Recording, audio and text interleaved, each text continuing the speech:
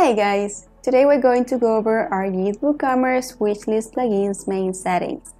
With this plugin, you can add a wishlist feature to your online shop, allowing your customers to add the products they like to their wishlist, to buy them later, or to share that list with family and friends promoting your own products.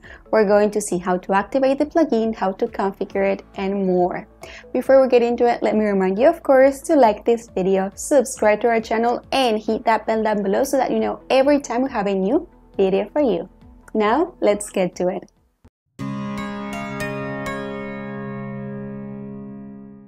So this is the site that I'll use for this video. I haven't activated the plugin yet, so there's no visible wishlist options here. Everything's normal. So first of all, let's activate the plugin. Let's go to the dashboard, plugins, and I'm going to look for my wishlist plugin there. Activate, there. So it's active now. Now let's go to YITH, wishlist so in this panel, you see that we have several tabs. For this video, we're going to focus on the first three tabs, General Settings, Add to Wishlist Options, and Wishlist Page Options. Okay, so the first thing I want to do, now that I activated the plugin, is to add a wishlist widget here next to the cart widget. That way, if I added a product to the wishlist, I will be able to see it right here, okay? It would work very much just like this cart widget works when you add the product to the cart. Let's go over to Appearance, Widgets. As you know, here we have different areas from our side where we can add every widget we have available. We have the default sidebar, the top bar area, but I'm interested in the header area right here. If I expand here, if I expand here, I have the card widget, which is the one we just saw, and I'm going to add the YITH wishlist items. Here we have the show extended widget or show mini widget. This is the one that I'm going to choose. And then we have these options. Show items count, show items from default wishlist only, show add all to cart button, show view wishlist link. I'm going to select all of these options, update, and now to show you how this works, I'm going to go back to YITH wishlist. I'm going to get ahead and go to add to wishlist options and I'm going to enable this option. In our plugin's latest version, this is not activated by default, so I need to activate it now. This is the option to show the add to wish list option in the shop page, okay? Let me enable this right now. So here I have the options to choose where I'm going to position that add to wish list option. We're going to look into this in a couple of minutes. I'm just going to choose one of the options now so I can show you how the widget works. Let's go back to the site and I'm going to refresh. Okay, so now you see that right here I have my wishlist widget. It works just as the cart widget works. And now I have these little icons right here on the upper left corner of my products thumbnails to add these products to my wishlist. Let me select this top. So this was added to my wishlist. The colored heart means that the product was successfully added. And if we see here, now instead of zero, it says one product added. I have the name of the product right here, light brown cotton top. I can eliminate the product from the wish list right here. And here I have the option to view my wish list so that I can see all of the products that are in it. I can add all to cart. So now that we have seen how the wishlist widget works, let's go back to the dashboard Okay, so we're going to focus on the plugin's first three tabs, General Settings, Add to Wishlist Options, and Wishlist Page option. Under the first tab, we're going to define the general behavior of our wishlists. Under the second one, we'll set the options to add products to the wishlist. And under the third one, we will set the options for the wishlist page. I'm going to show you that page in a couple of minutes. So let's look into the general settings tab right now. As soon as you access the plugin's dashboard, this is what you see. The first thing we can decide here is whether to enable the wishlist for all users or only for authenticated users. This is basically logged in users. So basically, if we leave this option as it is, set to all users, anyone that visits our site can see the wishlist features. Then, we can also enable notifications, the added remove notices. Since we have this enabled, the customer will get a pop-up notice every time a product is added or removed from their wish lists. Another interesting option is the Add to Wishlist tooltip. This was disabled. Let me enable this to show you what this is. Save options. Back to the site, refresh. So here's the tooltip showing up below the heart icon with the Add to Wishlist text. And here, since I already added this product to my wishlist, the tooltip text is Browse Wishlist. So if I click here, I'm going to be directed to the wish list that contains this product. Back to the dashboard. And in the following options, you can choose the description's background and text color. If we scroll down, we see that we have the multi wishlist settings. We have the option here to enable a multi wishlist feature. What's this? Let's say that a customer wants to create more than one wishlist one for Christmas, another one for his birthday, and so on. So, for him to have that option, to have the option to create more than one wish list, this feature has to be enabled like this. Now, this feature can be available for all users or only for authenticated users. For example, I can allow here all users to create their own wish list, but just one and here I enable just authenticated users to create more than one wishlist. And by doing so, I will be adding this message to request guest users to create an account to be able to use the multi wishlist feature. You can, of course, edit this message, but in this case, I'm going to leave the option to all users here. Then in this section, we can enable the integration between our YITH WooCommerce wishlist plugin and our YITH WooCommerce frequently bought together plugin, both premium plugins. This is a very cool integration to add a slider with frequently bought together items to the wishlist page. We're not going to look into this now, we're just going to save here. And now I'm going to move on to the Add to Wishlist Options tab. With the first option, we'll decide what the plugin does when a customer clicks on Add to Wishlist or the Add to Wishlist icon, which is what we have right now in our site. We can automatically add the product to the default list. We can show a modal window to allow users to choose a wish list.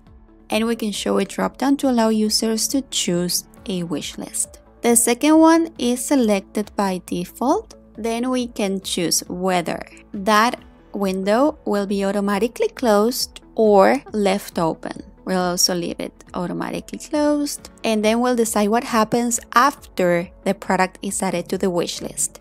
We can show the add to wish list button, we can show the view wish list link, we can show a remove from wish list link, or we can decide that the add to wish list button opens a window to move or remove items and this is of course only available with the multi-wishlist option enabled. We're going to simply leave the second option selected. So now that we have enabled the multiple wishlist feature under general settings and we defined the plugin's behavior when a customer tries to add a product to the wishlist, let's see how the multiple wishlists work depending on the first options we have set up here. I'm going to save, back to the site, refresh, Okay, so if I click here, since I left the default option selected in the second tab, I'm going to see this window. The first option, of course, is to add the product to my default wishlist, my wishlist, by clicking here on Add to Wishlist. But if I expand here, I can choose that wishlist or any other wishlist I created before, or I can create my own list right now. So let's see how to create a new one. Click here and we're going to call this wishlist birthday. I can decide here whether to make this public so everyone sees it. Anyone that comes into this site can see my wish list. I can create a shared wish list so that only people I share the link with can see it. So maybe if this is my birthday wish list and I want my friends or family to give me these presents, I can share this list with them so they know what to get me. Or we can create this as a private wish list so that no one but me sees the list. I'm going to choose to create a public wish list, add to wish list. Great, product added. This is my notice now the product has been added to the wishlist I have just created. If I want to add another product, I'll see that same modal. Let's try here with this top. The same modal and if I expand here, I can select the wishlist that I created. Now I'm going to close and go back to the dashboard. So we're still in the add to wishlist options tab and we're going to scroll down to the loop section. Here we see that these options will be visible on the shop page, on category pages, product shortcodes, product sliders, and all the other places where the WooCommerce products loop is used, okay? So first option, show add to wish listing loop. Yes, this is enabled. This was disabled when I activated the plugin. I enabled this option because I wanted to show you how the widget works. This is the reason why we're seeing the add to wishlist option on my shop page. So I have this enabled. If I disable this, you see that the option below disappears. Let me enable this again. And this is the option to choose the position of the add to wish list option in loop. Right now I have the on top of the image option selected. That's why we see the heart icon on the upper left corner of my thumbnails, okay? If we expand here, we'll see the following options on top of the image, before add to cart button, after add to cart button, or we can use a shortcode. Let me change this to before add to cart button save. We're going to go back to the site, look at that new option. Let me refresh the site. There. So now I don't have the heart icon anymore. And if I scroll down, you see that the add to wish list option is before the add to cart button. And here I don't have the option because I have already added the product to one of my wish lists. I personally prefer the heart icon that we had before, so let's go back to the dashboard to modify that on top of the image again. Now, here we have the product page settings section. Here I'm going to choose where to show the add to wish list option on the product page. We have after add to cart, after thumbnails, after summary, or use shortcode. We'll just leave it as it is at after add to cart. We also have this option to show a count of users with a specific product in the wish list, okay? This way our customers will know how many other customers added the same product to their wish list. Let's click here, yes. Save options. So we're going to go back to the site and I'm going to refresh and select one of the products. Let's select this one right here. So the option to add to wish list is right below the add to cart button. And let me show you another product. Here it says that the product is already in my wish list. And I can click here to browse my wish list. And here it says that I'm the first one to add the item to a wish list, but if any other customers added this before, here it would say one, two, three customers have added this to their wish list in this same spot. Okay, so we're going to go back to the dashboard and you'll see that in the options below you can customize the text and then the style and color. Now we're going to move on to the wishlist page options tab.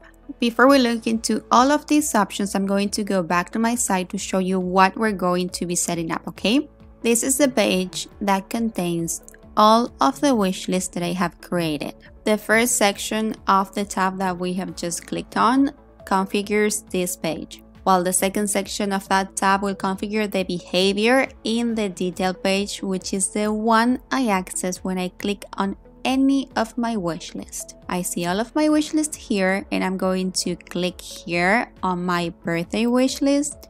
This is the detail page. So the second section of that tab will configure this page right here, okay? We're going to go back to the dashboard and let's begin with the first section, the page that contains all of the wish list. If we expand here, we'll be able to select where to show our wishlist page. You can choose different pages from your site, but I'm going to just leave this with the wishlist page. This is the default page. Just in case, we always have to make sure that this shortcode is entered in the page that we select as the wishlist page, okay? Then we can choose a design. So the one we saw before was the traditional design. Let me show you what the modern grid design would look like. Save options, back to the side.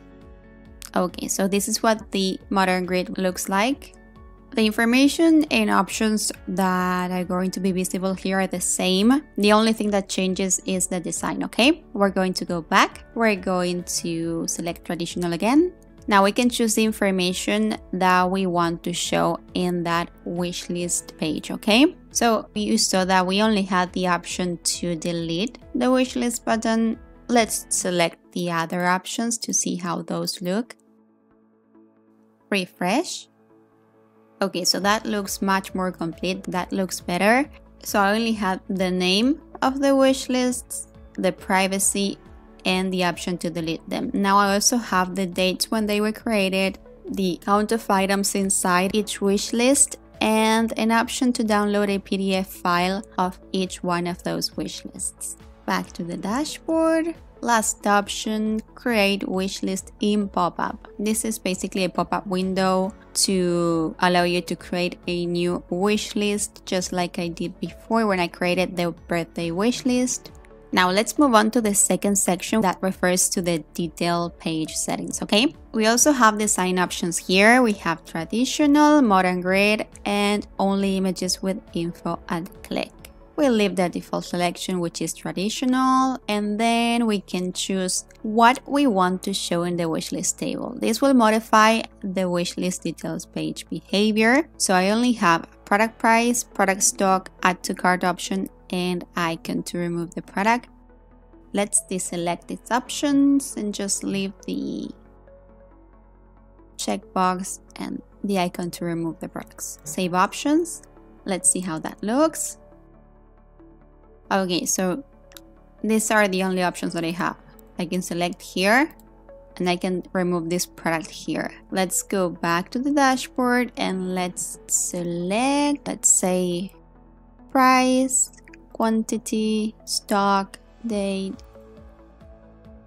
refresh. There. Okay, so now it is much more complete.